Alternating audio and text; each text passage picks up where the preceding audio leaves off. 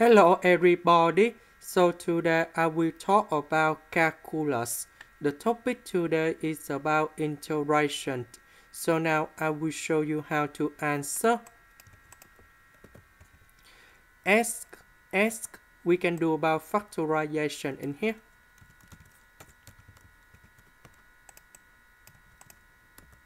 Next, I will put the negative in here so that we can change this one in here into x minus 6 because negative of this one they will return back to 6 minus x. Next we need to use about partial fractions.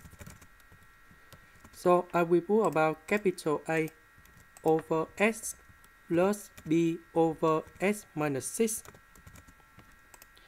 next I will do common denominator.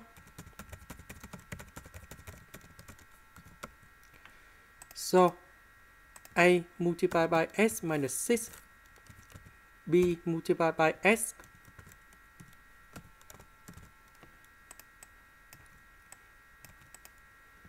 So this one we need to arrange based on the term of x. About x,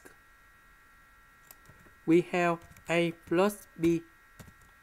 Because a multiplied by x b with x the next one a multiplied with negative number 6 we have negative 6a now if we look carefully about this one we have the negative sign in here. Then we go to x and number 3 about x we have negative number 1 that means a plus b equals to negative number 1. Negative 6a equals to negative number 3. And now we create the system of equations.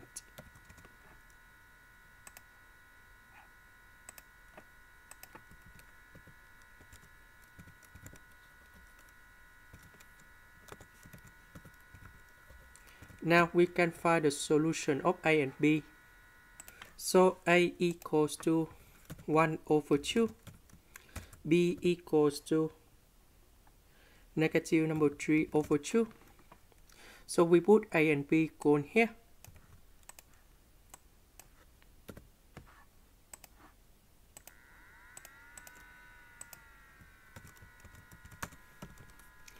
A that's about 1 over 2. B that's about negative number 3 over 2 and now we can get the final answer.